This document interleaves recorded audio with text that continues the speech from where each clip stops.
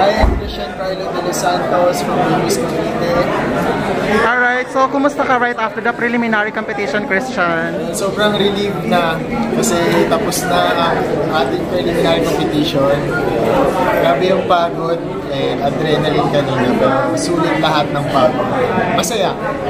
Alright, so, di ba, today is the preliminary competition, so there were segments like national costume, formal wear, and swimwear. So which is your favorite so far?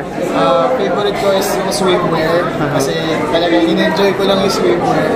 And hindi ko akalain magagawa ko yun in front of many people. Just wearing, ano, just wearing uh, small piece of um, trunks and rarampa kasi kita na madami tao. So happy nagawa ko siya.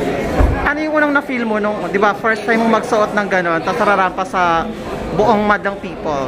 How, was, how do you feel about that? I, I felt, ano, I felt happy rather than na kinabahan kasi ah, mas nakibabaw yung confidence ko kasi pinagpagura ko yung katawan ko and I'm so happy to show it to everybody. Ay, in-enjoy ko lang talaga siya. If you were going to rate your performance uh, for this preliminary com- preliminary competition, for rate from 1 to 10, saan ka doon? I would say uh, 9. Aha. 9 siguro kasi um, I'm gonna say na sobrang in-enjoy ko lang kasi yung show. Hindi ko siya hindi hindi ko siya yung parang rehearsed lang. Um, it was it was not it came out natural to me. Ayun yung masasabi. Alright, sige. Ano pang aabangan namin kay Christian sa finals? Um, I prepared in the Q&A so hopefully hopefully makapasok tayo sa top 16 and then top 10 hopefully makapasok tayo para ma-showcase ko naman yung ano ko yung pinaghandaan ko for the question and answer. Okay, sige. Invite your fans and supporters to support you this coming um, June 27 sa finals night.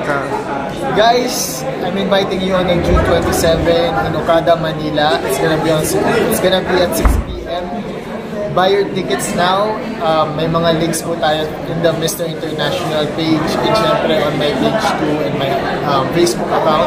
And sana masupportahan niyo ako and all the candidates din. Um, voting is still going on. Matatapos siya on June 27. Kaya guys, vote your favorite candidates na.